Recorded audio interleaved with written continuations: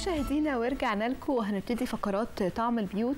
والحقيقة دايما ان أنتم عارفين من خلال طعم البيوت إحنا بنهتم جدا بالتغذية ودايما بيكون شعارنا التغذية الصحيحة والعادات الغذائية السليمة. ولكن طبعا ده ما يمنعش إن إحنا كتير مننا بيكون عنده عادات صحية الحقيقة فيها كتير من الأخطاء وممكن تكون فيها حاجات كتير مش صحية تماما. عشان كده إحنا دلوقتي هيكون معانا تقرير من المركز القومي للبحوث وهو ندوة للتوعية بالأخطاء الشائعة في التغذية. نروح نشوف التقرير ونرجع تاني نكمل معاكم بقيه فقرات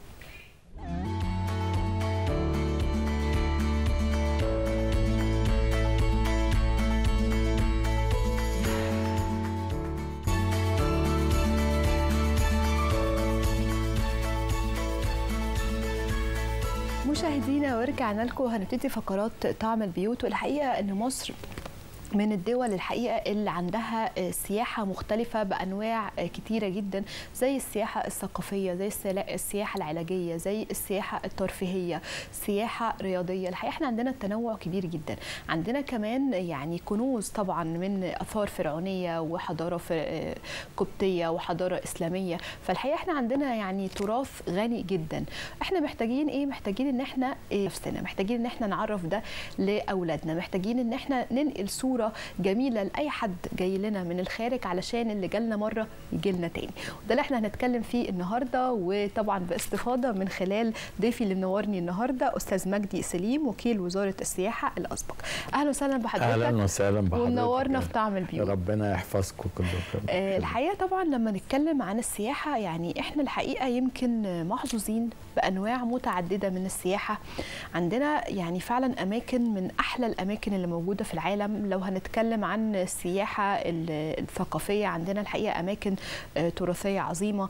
عندنا الحقيقة سياحة ترفيهية من الشواطئ من أجمل شواطئ العالم وده طبعا على التصنيف العالمي موجود.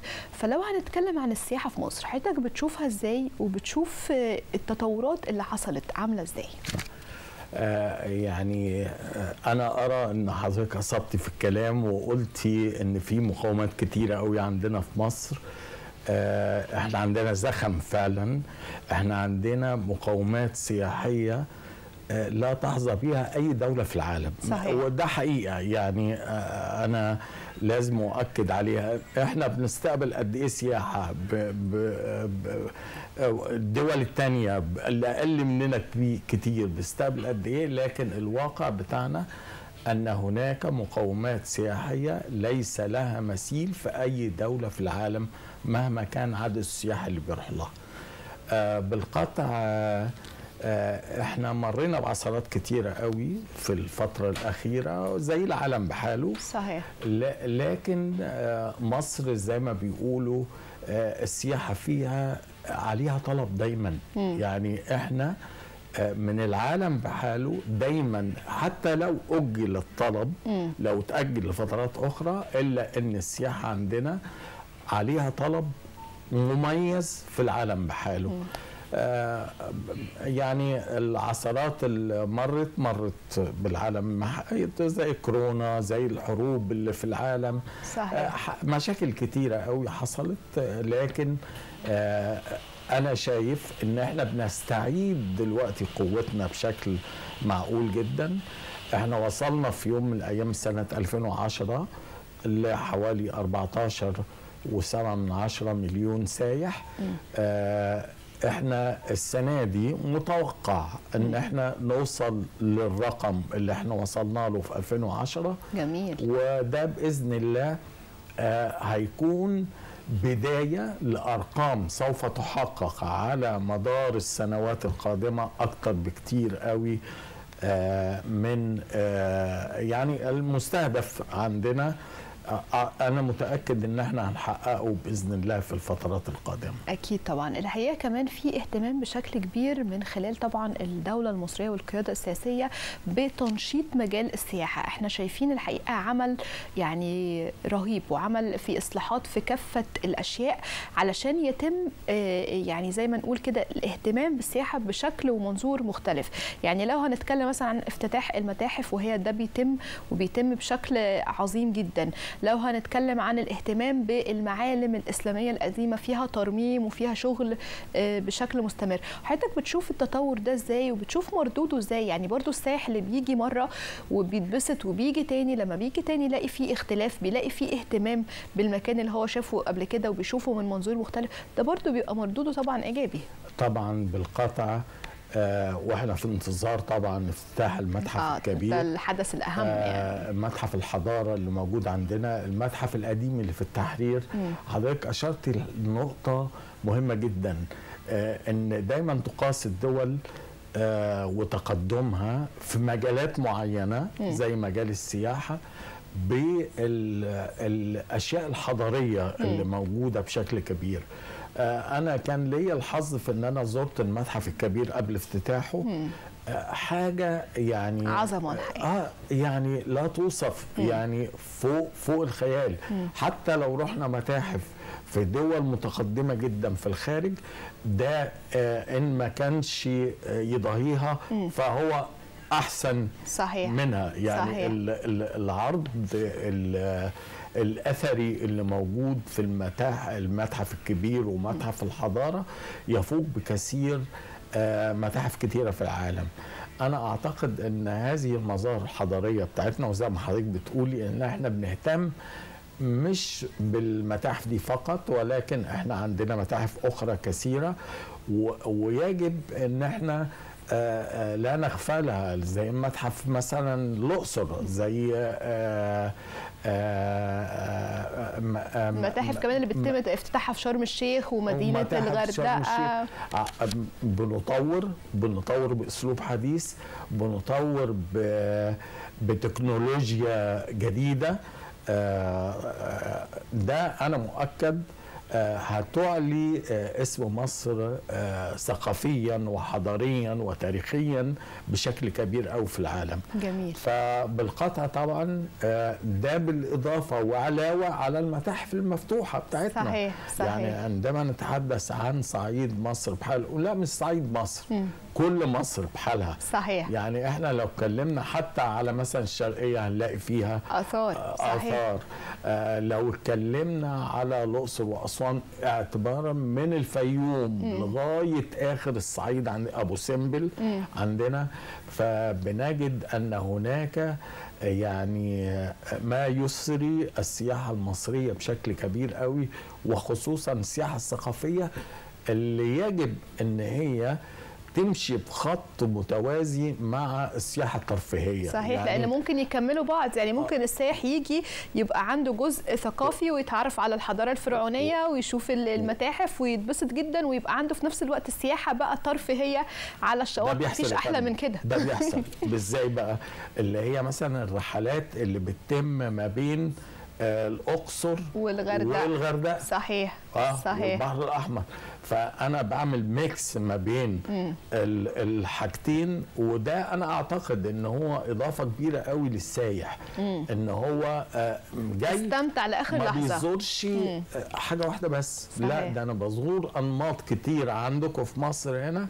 وده اللي أشرت عليه حضرتك إن هو بي بي بيؤدي في النهاية إلى تكرار الزيارة. أنا استمتعت فترة طويلة هنا. صحيح. طب أما أجي المرة الجاية أستمتع بفترة طويلة هنا وأقصر هنا. فيعني وده الحقيقة آه، بيحصل. يعني إحنا أوقات كتير بنقابل آه، سياح وتلاقيهم آه، تساله أنت أول مرة تيجي مصر؟ يقول لك لا أنا دي مثلا المرة الثالثه أجي هنا. أنا كل سنة لازم ليا زيارة. آه، يعني فدي حاجة جميلة جدا طبعا. من اللي بتشيري ليه حضرتك ده من أهم الحاجات في الدنيا تكرار الزيارة مم.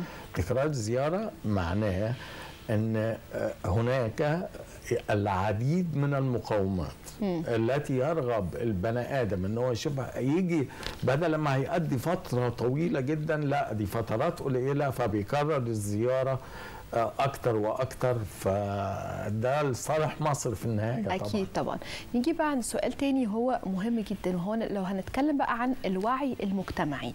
الوعي المجتمعي بأهمية السياحة إن كل فرد فينا كده طريقة تعامله مع أي سايح بيشوفه بيسيب عنده أثر طيب بيسيب عنده ذكرى جميلة بالمكان اللي هو جه بيسيب عنده تصرف طيب فإن هو لما هيسافر بلده هيقول لا ده في مصر الحقيقة ده أنا اتعاملت معاملة معاملة كرم معاملة آه، احترام آه، لا تقدير بشكل مختلف. شفت حاجات ما شفتهاش في حتة آه، تانية. فلو هنتكلم بقى هنا عن الوعي المجتمعي بأهمية معاملة السياحة والسياح علشان خاطر في الآخر يبقى ليه تأثير ويبقى ليه مردود مهم جدا على الدخل القومي. شوفي حضرتك هو بالقطع ال- السلوكيات هي من أهم الحاجات اللي تؤثر على آه، السياحة بشكل كبير جدا.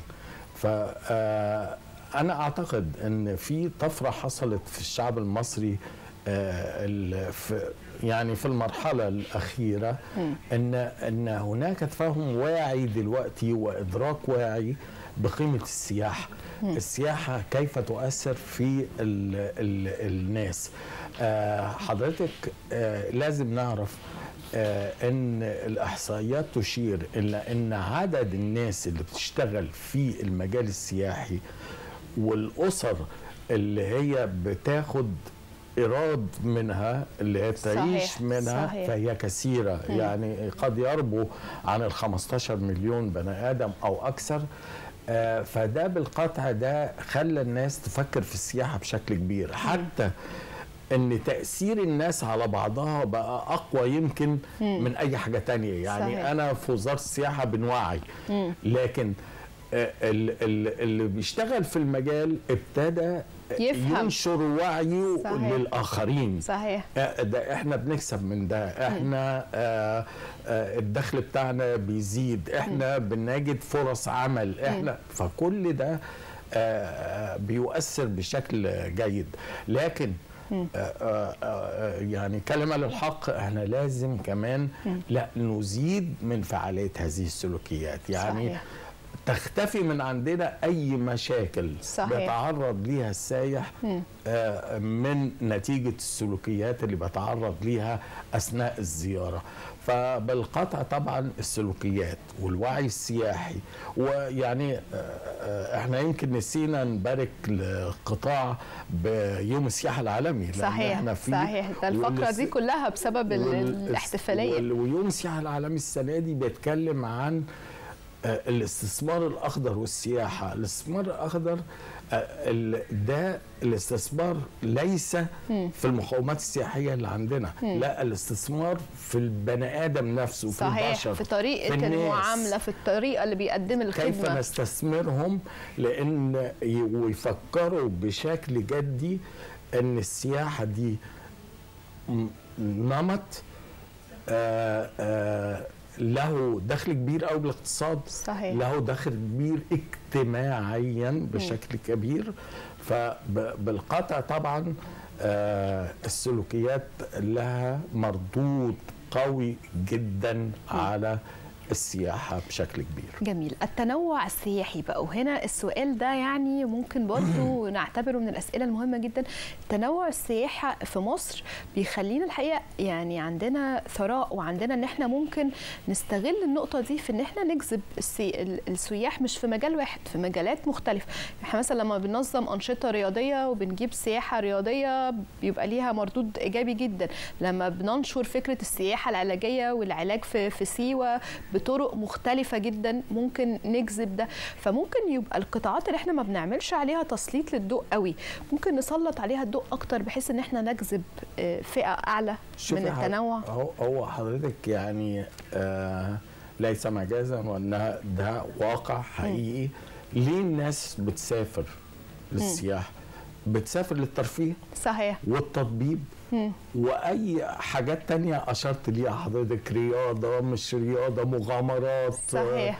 آه، آه، حاجات دي. فبالقطع إحنا آه، يجب أن نهتم كتير قوي بحاجات عندنا فيها مقومات آه، فعلا خيالية.